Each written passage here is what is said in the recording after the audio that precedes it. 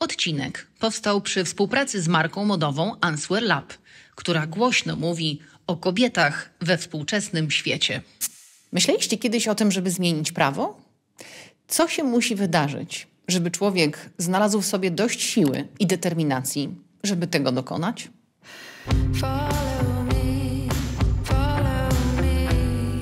Do dzisiejszej rozmowy zaprosiłam kobietę, która nigdy nie planowała być aktywistką, ale jedno wydarzenie całkowicie zmieniło jej życie.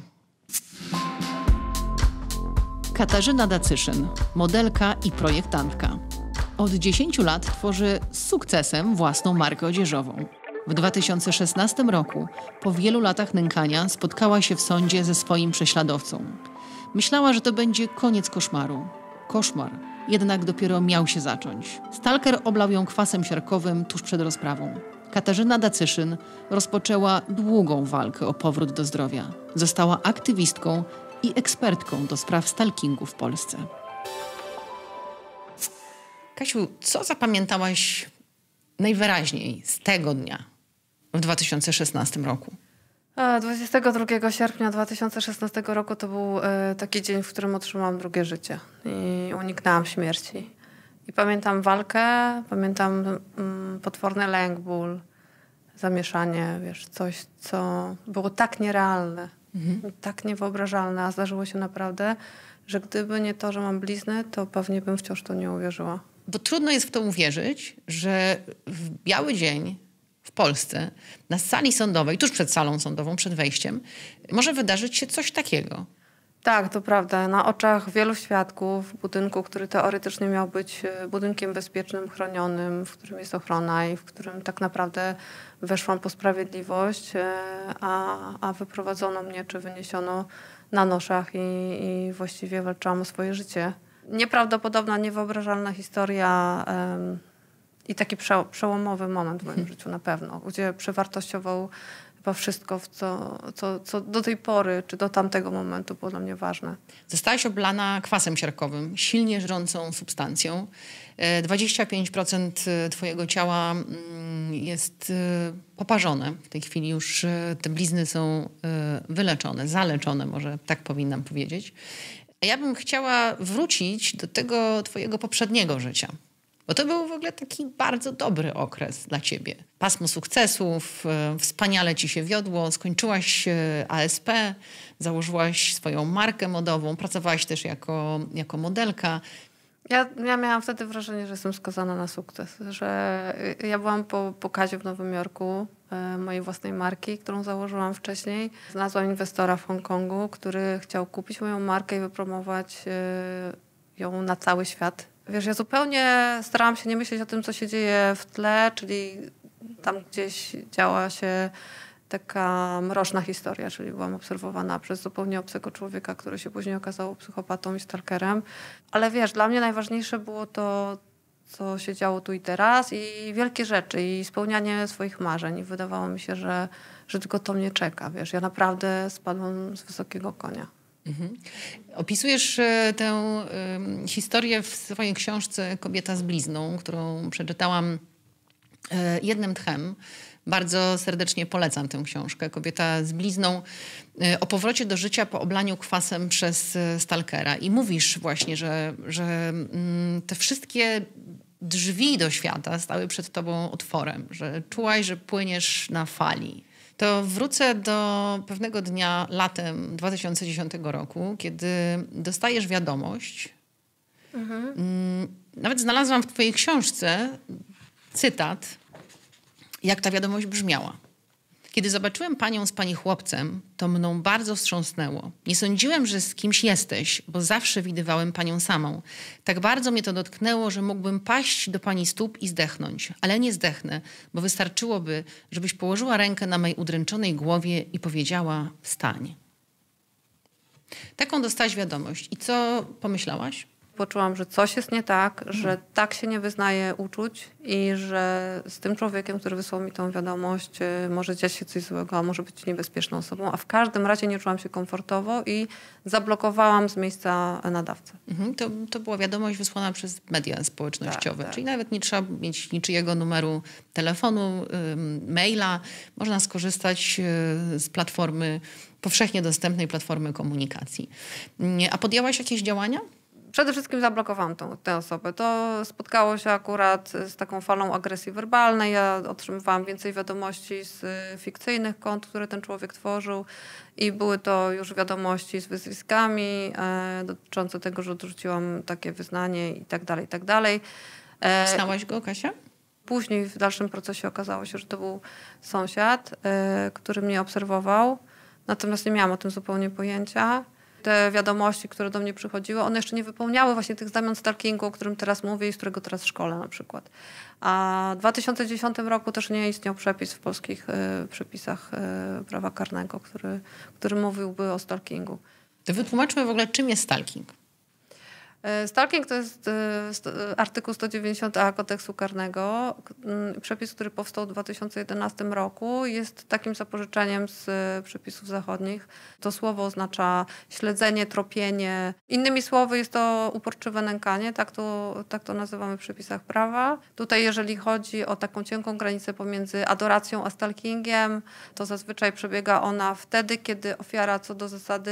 em, zaznacza to, że, nie życzy. sobie nie życzy. Tak, tak. Ja też często y, ofiarom stalkingu doradzam, by ne- nie negocjowały, nie rozmawiały, nie próbowały tłumaczyć, tylko zaznaczyły y, bardzo konkretnie y, tą, tę granicę, mówiąc o tym, że nie życzymy sobie więcej kontaktu i każda próba, próba kolejna y, czy, czy przekroczenie tej granicy spotka się z, ze zgłoszeniem takiego zachowania do organów ścigania. Muszę ci powiedzieć, że mam takie doświadczenie stalkingu. I mam doświadczenie bardzo niedobre w kontekście próby zgłoszenia tego faktu na policję. Otóż, y, kiedy przedstawiłam te zebrane dowody, y, kopie SMS-ów, maili, zdjęcia, to usłyszałam, ale o co chodzi? To chyba miło, że ktoś się panią interesuje którym i wyraża sympatię. Aha. Ustawa na pewno już była obowiązująca, nie mam co do tego wątpliwości, ale mam wrażenie, że ludzie nadal nie rozumieją, czym jest stalking i policja też często bagatelizuje te, te sygnały. Ja wiem, że mają wiele innej pracy do wykonania y, i to pozornie może nie wyglądać groźnie, ale może się okazać bardzo groźne, może się okazać śmiertelnie niebezpieczne. To prawda. Y, Jest jakaś taka tendencja y, postrzegania stalkingu jako, y, jako rodzaj romantycznych zalotów albo właśnie adoracji. I No tak, bo pozornie to wygląda, prawda, na wyznanie miłosne i właściwie czego by się tu można czepiać? stalking rzeczywiście jest y, uznawany za coś romantycznego albo... y, Nie strasznie nie lubię tego słowa, ale już słyszałam, że jest sexy. y, Dlatego, że, że stalking ma emocje w tle.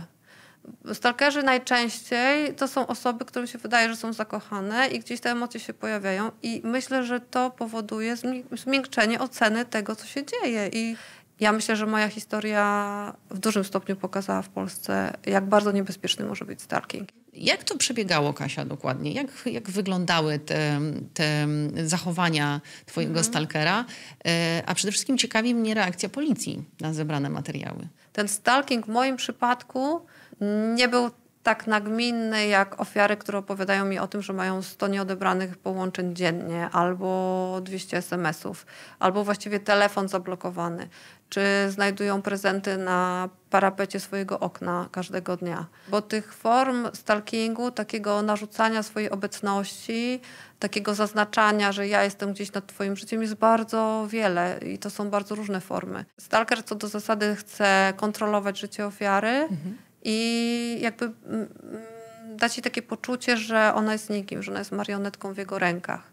To też bardzo często prowadzić może do stanów depresyjnych albo prób samobójczych, kiedy ofiara ma takie poczucie, że jest pozostawiona sama sobie, bez jakiejkolwiek pomocy i że jest w rękach człowieka, e, który próbuje przejąć kontrolę nad jej życiem albo próbuje jej wmówić, bo ja też otrzymałam takie wiadomości, że ja zwariuję. Ty sobie nie poradzisz z tym. ty jesteś już przegrana. Pamiętam takie myśli, gdzie, gdzie ci się wydaje, że jedyny spokój, jaki jesteś w stanie uzyskać, to, to będzie wtedy, kiedy ten koszmar się skończy, a możesz znaleźć na to sposób. Tak? To są straszne rzeczy, ale rzeczywiście nawet y, kodeks karny przewiduje wyższą karę dla stalkera w momencie, kiedy ofiara podejmuje próbę samobójczą. Czyli takie, do takich przypadków musiało dochodzić.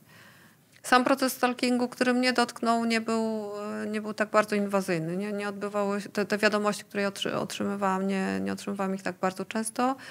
To jest moim zdaniem wielki problem w rozumieniu, czym jest stalking tak? i gdzie ta granica tak naprawdę przebiega. Bo ja też usłyszałam, że to, czego ja doświadczyłam, nie jest chyba aż tak straszne, ale to poczucie zagrożenia, które masz, tak? Ten stres, który w tobie jest, mhm. permanentne poczucie, że jesteś obserwowana i, i że ktoś chce się z tobą kontaktować wbrew twojej woli i pisze rzeczy o tobie, o twoim dziecku, które są szalenie niepokojące. Mhm. Y, I nie jesteś w stanie tego nikomu wytłumaczyć. Że, że po prostu czujesz się jak ofiara, którą ktoś, ktoś tropi, którą ktoś śledzi. Natomiast bardzo często reakcje ludzi są w ogóle nieadekwatne do tego, co ty czujesz wewnętrznie. Bardzo często.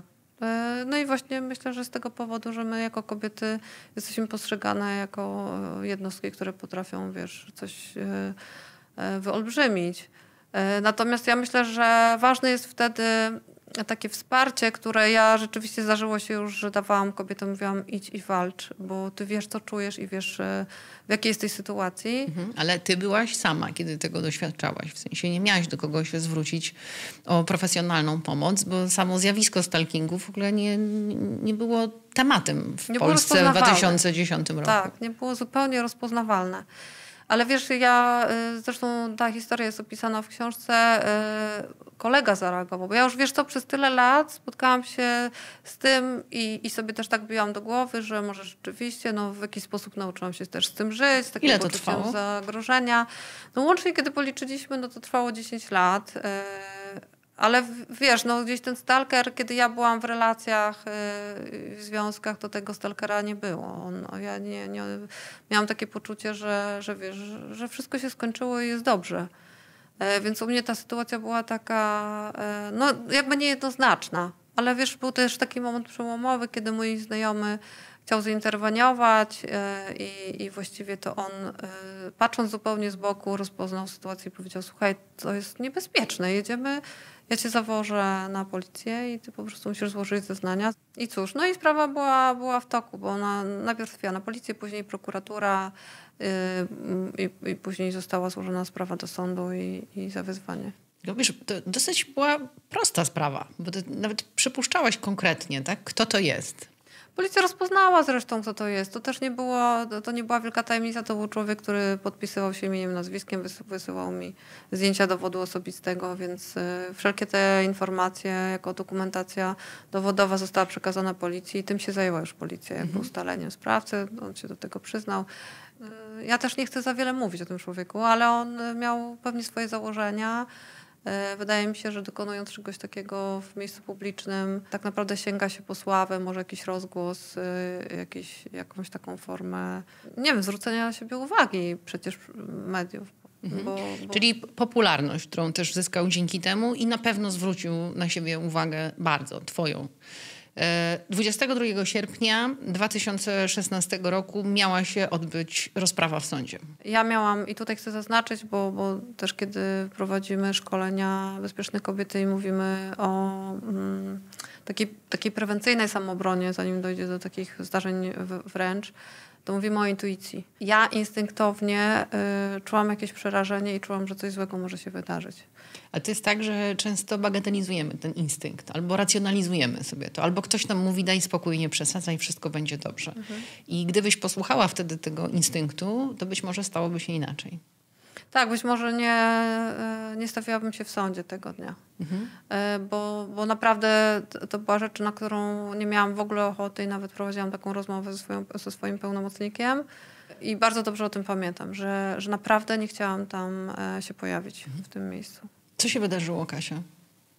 Przyjechałam na miejsce i zorientowałam się na korytarzu sądu.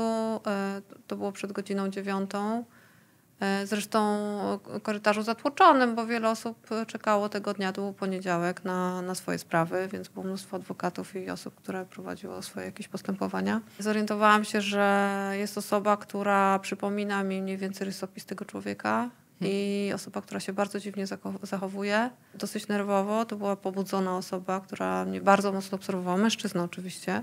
I pamiętam też, że, że próbowałam zapanować nad tym strachem i podjęłam decyzję, że nie będę patrzeć na tego człowieka. Nie będę, być może mogłabym go sprowokować tym, e, tym wzrokiem. Więc nie będę w ogóle patrzeć w jego kierunku i nie będę ignorować jego obecność i to był wielki błąd, o czym też mówię na szkoleniach e, czy razem z instruktorem bezpieczeństwa, dlatego że może nie powinnam patrzeć wprost czy w oczy, ale nie powinnam go spuścić z, e, z pola widzenia po to, mhm. żeby zachować czujność i kontrolować sytuację. Ja jej nie kontrolowałam. Ja nie wiedziałam, ja nie wiedziałam, gdzie jest zagrożenie. On y, podszedł do mnie y, ze słoikiem wypełnionym kwasem y, od tyłu i ja właściwie w momencie ataku nie wiedziałam, co się dzieje. A mogłabym pewnie tego uniknąć. Jak w ogóle do tego doszło, że wchodzi do sądu człowiek ze słoikiem z kwasem siarkowym? Jak to jest możliwe? Dlaczego żadna kontrola tego nie wyłapała? W tamtym czasie przepisy dotyczące ochrony sądów były niewystarczające. One się zmieniły po ataku. E, na moją osobę. Miesiąc później e, została zaostrzona ustawa o zabezpieczeniu sądów, jak również został zmieniony regulamin tego właśnie, tejże placówki, w której zdarzył się atak w kolejnym roku i jest taki zapis tam e, w, w przepisach bezpieczeństwa, który rozszerza tą część dotyczącą wnoszenia płynów, które mają być sprawdzane przez ochronę tego budynku sądowego, jak również zakupiono detektor płynu te przepisy, które istniały, były niewystarczające i człowiek, człowiekowi udało się wnieść taką niebezpieczną, rzącą substancję. Ty nie zdawałaś sobie sprawy do końca, co się dzieje i, i jakim płynem zostałaś oblana? To, co się dzieje z ludzkim organizmem jest niewyobrażalne. Ja miałam tak wysoki poziom e, wszystkich hormonów i, i ciśnienia, że ja słyszałam tylko pisk w uszach. Ja nie słyszałam rozmów dookoła.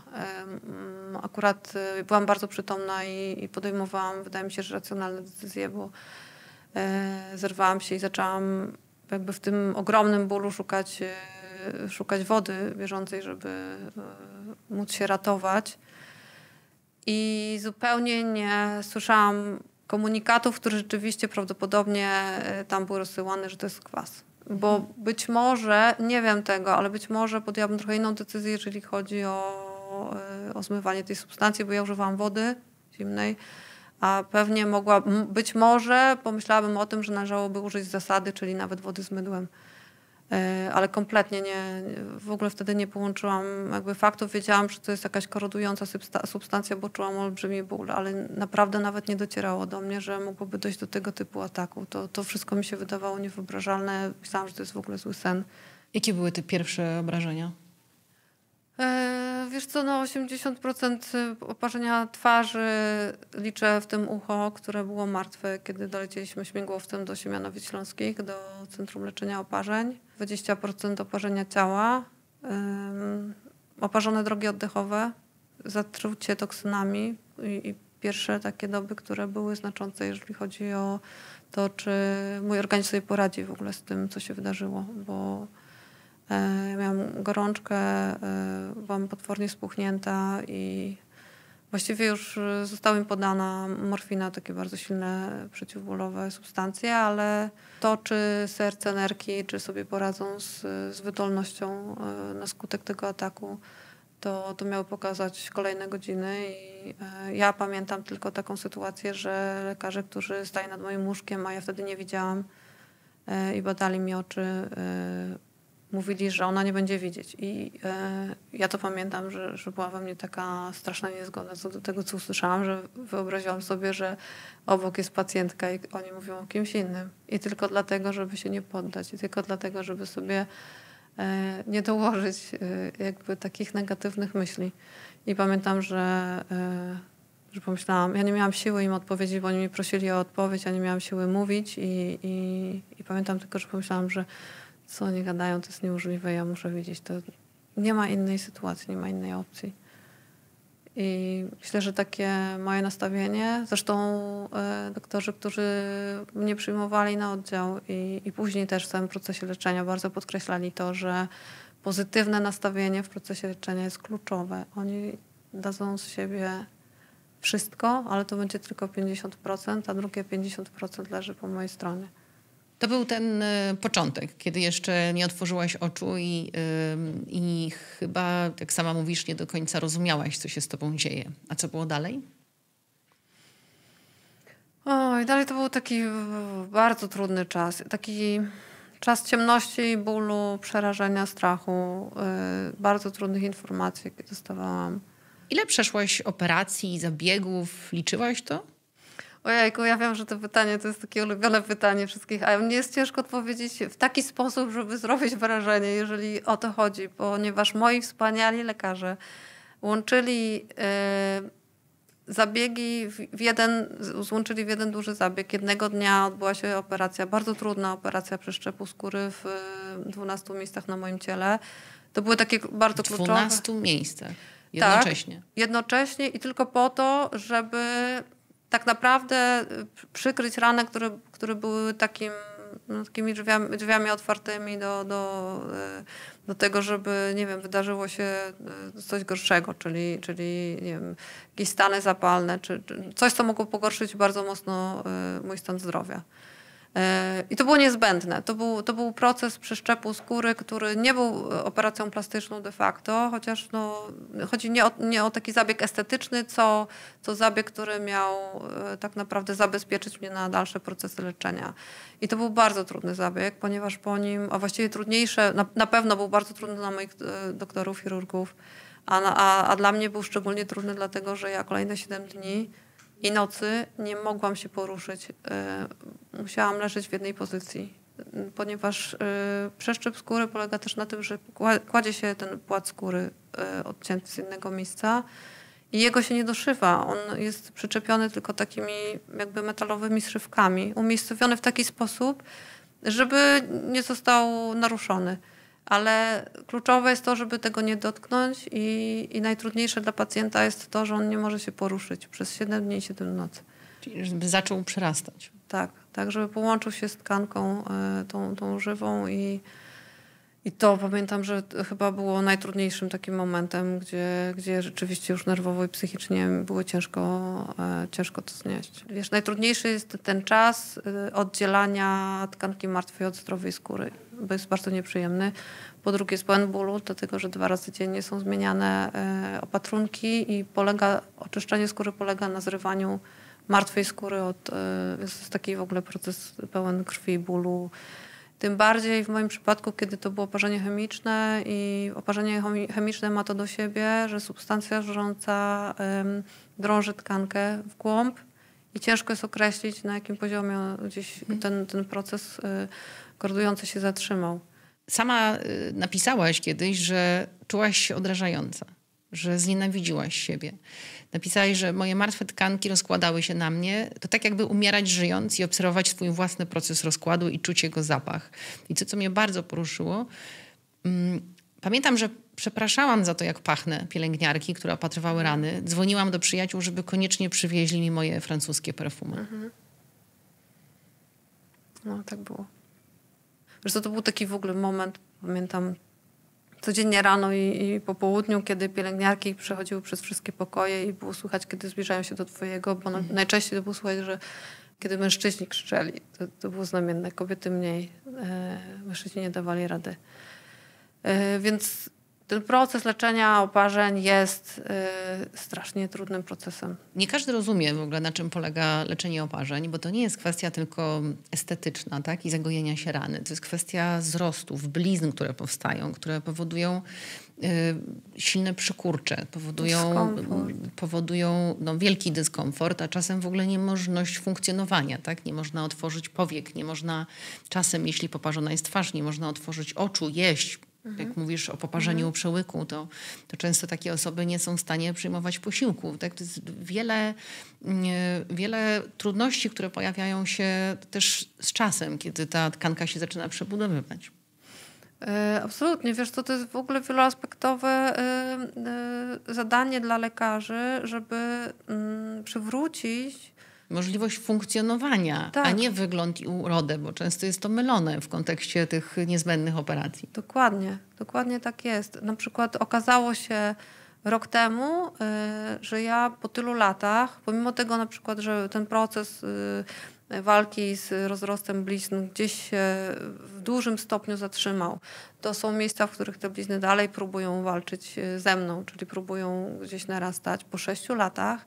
A rok temu okazało się, że mam problemy ze zgryzem w związku z bliznami, które y, tak naprawdę powodowały dysfunkcję tutaj w tej części żuchwy, połączenie z szyją i tak dalej. Plus y, oczywiście ten proces samooceny, wiesz, y, takiej opieki y, psychoterapeutów i tak dalej. Bardzo, bardzo złożona kwestia i kiedy słyszę na przykład w komentarzach, ok, w ogóle świetnie wygląda pani, w ogóle pani nic nie widać. Jasne, że tak, wykonana została bardzo ciężka praca, natomiast to jest proces, który się wciąż dokonuje i będzie dokonywał do końca życia. Obserwuję Twoje konto na Instagramie i widzę, jak często w ogóle poddajesz się różnym zabiegom, żeby mm, żeby ta skóra się wciąż mogła przebudowywać, żeby te blizny nie narastały. Ale też, co jest e, dla mnie szczególnie mm, ważne jako dla kobiety, to to, że nawet w najgorszych momentach starałaś się dbać o różne y, takie rzeczy związane z estetyką właśnie, żeby paznokcie mieć zrobione, tak? żeby ocalić chociaż trochę tej, tej normalności, tak? tej takiej naszej kobiecości w tym, w, tym, mhm. w tym całym piekle, w którym się znalazłaś. E, tak, w ogóle to jest zabawna sytuacja, e, o czym mówisz, czyli o tych e, na przykład paznokciach, jak kiedy trafiłam do Centrum Leczenia Oparzeń. Centrum Leczenia Oparzeń w Siemianowicach Śląskich to jest najlepszy w tej chwili w Polsce ośrodek. I tam pamiętam, jak personel medyczny, biały personel przyszedł do mnie i zapytał, czy możemy zdjąć lakier hybrydowy z paznokci, bo to jest po prostu niezbędne do kontrolowania bezpieczeństwa podczas zabiegów chirurgicznych. I ja bardzo tego nie chciałam, ponieważ miałam świeżo zrobiony, piękny manikir, a, a wyglądałam strasznie, bo y, właściwie nie można było mnie rozpoznać. Ja byłam cała zawinięta w bandażach. Wyglądałam jak mumia. E, słyszałam, że nie będę miała twarzy i to był taki jedyny przylądek kobiecości, jaki mi pozostał. E, I bardzo tego nie chciałam i mm, personel mi pozwolił na to, żeby zostawić sobie lakier na paznokciach u dłoni, a zdjęliśmy u stóp i rzeczywiście tutaj znaczy, no, wypracowaliśmy sobie taki kompromis. E, I wiesz co, ja myślę sobie, że to jest dla nas kobiet ważne. To, co jest dla nas ważne, powinniśmy o to dbać i, i nie powinniśmy sobie tego odbierać czy odmawiać, nawet w tych najtrudniejszych sytuacjach. I do tej pory tak jest, że są, e, są takie elementy, które ja lubię i nie chcę z tego rezygnować. I, i wiesz, e, Myślę, że one przypominają nam o tym, gdzie jesteśmy i jaki jest nasz cel. I mój cel był taki, żeby wrócić do normalności, odzyskać swoją kobiecość i, i, i wiesz, przerobić tą całą ciężką pracę. Takie doświadczenia oblania kwasem zdarzają się i kobietom, i mężczyznom, y, częściej kobietom. I też podłoże jest, y, tych działań jest y, chyba jednak trochę inne. Wiesz co, ja nawet y, bywa, że, że do tej pory o tym myślę, y, że, że to jest taki taki obrzydliwy sposób y, mężczyzn na to, żeby odebrać kobiecie godność i tożsamość. Zresztą, wiesz, odebrać komuś twarz, gdzie jest zapis naszych genów, rodziny, wiesz, podobieństwo do najbliższych, to jest coś tak brutalnego i, i tak obrzydliwego i że powinno być e, no, piętnowane w najwyższym stopniu. E, myślę, że mm, wiesz, gdzieś tutaj e, tak bardzo działa taki atawistyczny sposób myślenia mężczyzn, że dla kobiety to, co jest najcenniejsze, to jest jej uroda i kiedy zostanie odebrana, to właściwie ją zniszczy że e, ja w sytuacji, w jakiej się znalazłam, podjęłam decyzję, że absolutnie, nawet jeżeli nie będę do siebie podobna, a jestem, chcę zaznaczyć, to jest wielki sukces moich lekarzy, to i tak będę walczyć o to, żeby pokazać, że to w nas kobietach nie jest wcale najważniejsze. Najważniejsze jest to, co mamy w środku, siła, wartość i to, co możemy dawać innym. Jeżeli możemy, jeżeli, jeżeli jest, jest nas na to stać, jeżeli mamy w sobie tyle siły, żeby móc z tego całego zła, które na przykład mnie spotkało, wyprowadzić wiele dobra, to dajmy to światu, bo w ten sposób zostaniemy zapamiętane. I tutaj muszę powiedzieć coś, co mnie samą zaskakuje, bo e, ja po ataku, mając blizny i oczywiście gorsze momenty, kiedy gdzieś nie chcę pokazać tego swojego ciała, to jest moja wielka tajemnica. E, ja się staram. To, że umieszczam zdjęcia na Instagramie samego procesu leczenia, to jest bardzo ważne nie tylko dla mnie, jak również dla innych kobiet, które leczą, leczą swoje blizny, czy starają się poprawić ich wygląd, czy funkcjonalność, albo chcą zaakceptować swoje niedoskonałości i ja im daję tym siłę. Słyszałam parę opinii mm, bliskich znajomych i to mężczyzn, którzy nie powiedzieli tego mi wprost, ale e, na przykład ich żony mi powtórzyły, że ja wyglądam nawet lepiej z tymi bliznami, bo jestem charakterystyczna, jestem teraz jakaś i to zbudowało też bardzo mocno moją tożsamość. Ale wiesz, ja myślę, że tu nie chodzi o, wcale o ten wygląd, chodzi o tą pewność siebie, którą teraz zyskałam i którą mam. E, taką siłę, wiesz, wewnętrzną, takie poczucie wartości, które nie wynika z wyglądu. E, pewnie, że ono jest czasami podkopywane tymi gorszymi momentami, gdzie pamiętam, jak wyglądało moje ciało wcześniej, gdzie pamiętam, że wychodziłam w bikini na plażę, a teraz już tego nie robię, chociażby ze względu na słońce i jakby to, jak źle działa słońce na blizny. Ale, ale wiesz, to y, ma też olbrzymie znaczenie dla mnie, y, kiedy ktoś mi mówi, bo wiesz, y, Mm, piękno nie wynika z tego, co jest powierzchowne. Ono jest w tobie, coś jest w tobie. To właśnie to. Kasiu, przeszłaś bardzo długą drogę w walce o siebie, o swoje zdrowie to i fizyczne, i psychiczne. I bardzo często um, ofiary y, w takich sytuacjach, y, choć słowo ofiara w Twoim przypadku nie jest uzasadnione, bo Ty jesteś ocalałą, Ty jesteś po prostu silną kobietą, która się z tym zmierzyła, ale osoby, które tego doświadczyły, często już nie chcą do tego wracać. I mówią, dobrze, już jakby koniec, cieszę się, że wyzdrowiałam, jakby nie idę dalej, nie dochodzę swoich praw, tak? I nie, nie walczę z całym systemem, bo tak naprawdę to, co ty zrobiłaś potem, to jest wielka inspiracja dla wielu osób i też wielka pomoc dla wielu osób, które doświadczyły podobnych sytuacji. To nie jest tak, że ja lubię wracać do tej historii. Ja ją przepracowałam i wiem, że ona y, może dodawać sił. Ona jest świetnym przykładem. Wiem, że jest mocną historią. Y, a wiesz, ja, ja walczyłam o siebie i to była bezwzględna walka o bezpieczeństwo, o wartość najwyższą. To wiesz, ja nie miałam innego wyjścia. Znalazłam y, mecenasa, który był w stanie zawalczyć o tak wysoki wyrok, który nigdy wcześniej w Polsce nie zapadł. Mhm na skutek zmiany kwalifikacji czynu. Udało się tego dokonać. Sąd przychylił się do naszego wniosku o zmianę kwalifikacji czynu na usiłowanie zabójstwa z zamiarem ewentualnym. Stało się tak po złożeniu dowodów na to, że tego typu atak rządzącą substancją wymierzony w twarz może spowodować śmierć, tym bardziej, że e, ja miałam obrażenia w postaci oparzonych dróg oddechowych. One były oparzone oparami kwasu, E, ale jednak mogło to spowodować śmierć. Proces, który się rozpoczął, był już procesem e, o usiłowanie zabójstwa. Mhm. A jakie wcześniej zapadały wyroki? Wcześniej w Polsce zapadały wyroki e, z zupełnie moim zdaniem innego ciężaru gatunkowego, czyli o usiłowanie uszkodzenia zdrowia i ciała i oszpecenia. To jest przepis, który był zagrożony karą pozbawienia wolności do lat 6. 6 a 25 lat, duża różnica. Bardzo duża, e, zwłaszcza kiedy masz poczucie, że masz przeciwnika po drugiej stronie, który jest typem psychopaty i planuje tak naprawdę cię zgładzić. E, ja miałam absolutnie tego świadomość i mój mecenas również, że tutaj walczymy o moje bezpieczeństwo. Oczywiście kara, która zapadła, była karą za czyn, e, jaki się dokonał, za zuchwałość, miejsce, brak skruchy i tak natomiast było, była, to, była to wysokość, która była moim gwarantem bezpieczeństwa. Hmm. Brak skruchy? Podobno. Ja nie byłam na żadnej z rozpraw, oprócz rozprawy otwierającej, dlatego że psychicznie nie byłabym w stanie na pewno e, znieść e, ani pobytu w, w samym sądzie, bo to było trudne, kiedy zostało bardzo mocno gdzieś nadszarpnięte moje zaufanie do wszelkich instytucji państwowych i do bezpieczeństwa gdziekolwiek.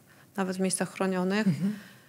Tak mogę powiedzieć, to był, to był wyrok, który był wyrokiem bez precedensu w Polsce i który w pewnym stopniu, w najwyższym stopniu e, określił nam, czy wytyczył pewną ścieżkę orzekania sądowego w takich sprawach. Mhm. Czyli zmieniłaś bardzo dużo, nie tylko w kontekście swojego własnego doświadczenia i bezpieczeństwa, ale też w kontekście osób, które doświadczają niestety tego po tobie i wszystkich przypadków, które mogą nastąpić w przyszłości, oby nie nastąpiły. Czyli po pierwsze lepsze zabezpieczenie sądów, bo to się wydarzyło po, po tym ataku na ciebie. Tak, i e, wiesz, też udało się zwiększyć e, kary za sam proces stalkingu. Z dwóch lat do nawet ośmiu lat pozbawienia wolności i to jest przepis, który wszedł w lipcu zeszłego roku. Ja, ja, co roku starałam się zajmować taką, y, takimi akcjami społecznymi, zupełnie pro bono oczywiście, które miały za zadanie uświadamiać, czym jest stalking. Uświadamiać również organom ścigania. Y, w roku 2019 stworzyłam kalendarz, który został wydrukowany w liczbie wszystkich prokuratur w Polsce. Pomogło mi dzięki, y, wydawnictwo zresztą, które wydało moją książkę. I ten kalendarz, który był kalendarzem ściennym e, ze zdjęciem e, moim. Ja, ja zbyt często bliź nie pokazuję, ale to był taki, taki moment, gdzie wiedziałam, że muszę pokazać, jakie mam obrażenia ciała. I to był kalendarz, który przedstawiał mnie w, w pewnym takim obnażeniu, pokazując blizny i opisując, czym jest artykuł 190a kodeksu karnego, czyli stalking, jak on może się, e, jak ten stalking, jaki może mieć tragiczny finał również. Tylko po to i, i dlatego, żeby e, te organy ścigania nie bagatelizowały przypadków stalkingu w Polsce. I tak, choć nie planowałaś, zostałaś aktywistką. Ja co roku, od momentu uprawomocnienia się wyroku, kiedy właśnie poczułam taką sprawczość, e, starałam się działać na rzecz ofiar i głównie w listopadzie, dlatego że e, jest Światowy Dzień Przeciwko Przemocy. I uznałam, że jest to znak, nie jest to przypadek. I zorganizowałam wtedy pierwszą taką akcję e, ogólnopolską Stop Stalking w Łodzi, gdzie zjechały się kobiety z całej Polski, co było e, naprawdę no, mocno budujące. Głównie ofiary stalkingu, które chciały się dowiedzieć dużo na temat i samego procesu, i, i tego, jak przygotować się do, do składania zeznań. I takie szkolenie zostało przeprowadzone. W kolejnym roku również y, było przeprowadzone dla przyszłych prawników, sędziów, prokuratorów y, na Wydziale Prawa Uniwersytetu Łódzkiego. Y, w tym roku jest to inicjatywa mojego znajomego, który jest instruktorem bezpieczeństwa Mateusza Orczykowskiego. Z Fundacją To się uda. Zorganizowaliśmy wydarzenie cykliczne pod nazwą Bezpieczne Kobiety które ma za zadanie tak naprawdę y, przygotować nas albo starać się uniknąć zagrożeń, jakie na nas czyhają. Ja opowiadam oczywiście o stalkingu y, i o tym, jak uniknąć tego zagrożenia, czego nie robić, y, co robić, jak przygotować się do składania zeznań. Mateusz Orczykowski jest instruktorem bezpieczeństwa, więc on oczywiście szkoli wręcz i, i, i przeprowadza taki trening samoobrony. Wręcz? Wręcz. e, e, natomiast, e, natomiast przede wszystkim nacisk jest kładziony przy tych szkoleniach na unikanie zagrożeń, czyli mm, tego, jak obserwować e, otoczenie. Właściwie to, o czym mówiłam wcześniej, czyli ta zasada ograniczonego zaufania, zasada czujności, intuicja, którą, którą należy brać pod uwagę i gdzieś rozpoznawanie zagrożeń, e, zarządzanie strachem w sytuacjach, które e, zaczynają być trudne. Tego wszystkiego uczy Mateusz. E, najbliższe szkolenie w listopadzie będzie szkoleniem takim w, w systemie webinarowym ja poprowadzę webinar 20 listopada, Mateusz 19. Ja tylko powiem krótko, że można znaleźć te webinary na e, zrzutce.pl albo zapraszam również na profil Bezpieczne Kobiety na Instagramie i na Facebooku i tam będą wszelkie szczegóły. Mhm. Kasiu, zmieniasz świat. Myślę, że nie. Myślę, że mam wpływ na... Masz, masz wpływ i zmieniasz świat tymi swoimi działaniami. Przekułaś e, potworne doświadczenie, ogromny ból przekułaś w coś dobrego też dla innych ludzi, za co bardzo Ci dziękuję w imieniu swoim i wielu, wielu kobiet, które śledzą to, co robisz. E, I dziękuję Ci, że, że jesteś zaangażowana, że, że działasz i że dajesz nam, nam wszystkim kobietom siłę i też pięknie pokazałaś, jak przejść przez takie trudne doświadczenia. W jakim sensie redefiniowałaś w ogóle, czym jest piękno. Więc y, za to też dziękuję. A, a propos blizn, to słyszałam kiedyś takie zdanie, że blizny są jak tatuaże, tylko że mają dużo ciekawszą historię. O. Niejednokrotnie historię y, cierpienia, bólu, tego fizycznego i psychicznego, ale. Zwycięstwo też. Zdecydowanie tak. Y, chciałam Ci też bardzo podziękować y, za współpracę. Kasia Decyszyn e, zgodziła się konsultować jeden z rozdziałów e, książki Co chcesz powiedzieć światu. W rozdziale tym opowiadam o kobietach, które mm, doświadczyły oblania kwasem albo zostały oblane naftą i podpalone. Straszne rzeczy się dzieją kobietom w Pakistanie i w Indiach, tam głównie. Bardzo mi zależało, żebyś przeczytała i zrecenzowała ten rozdział. Bardzo, bardzo Ci dziękuję. Zresztą poznałyśmy się przy okazji tego tematu właśnie. Zwróciłaś mi uwagę w ogóle, jak mówić o no, tego typu zjawiska. Tak. Czego nie mówić. Mhm. Także to są bardzo, bardzo ważne uwagi. Także zachęcam. Książka Co chcesz powiedzieć światu. Polecam y, tę. Polecam książkę Kasi, Kobieta z blizną. I oczywiście śledzenie Twoich profili, gdzie, gdzie udostępniasz te wszystkie ważne i potrzebne wiadomości. E, a jeszcze mam takie pytanie, co Ty chcesz powiedzieć światu? Wiara, siła, determinacja i wierność sobie i swoim wiesz, celom są chyba w życiu najważniejsze. Hmm. Bardzo, bardzo Ci dziękuję, że jesteś. Dziękuję Ci za rozmowę, za to spotkanie. Dziękuję bardzo. A Wam dziękuję za obejrzenie i wysłuchanie kolejnego odcinka na kanale dalej. Zapraszam do subskrypcji, żeby nie przegapić kolejnych inspirujących rozmów. I do zobaczenia przy dziękuję innych okazjach. Bardzo. Nie mam wątpliwości. Odcinek powstał przy współpracy z marką modową Answer Lab, która głośno mówi o kobietach we współczesnym świecie.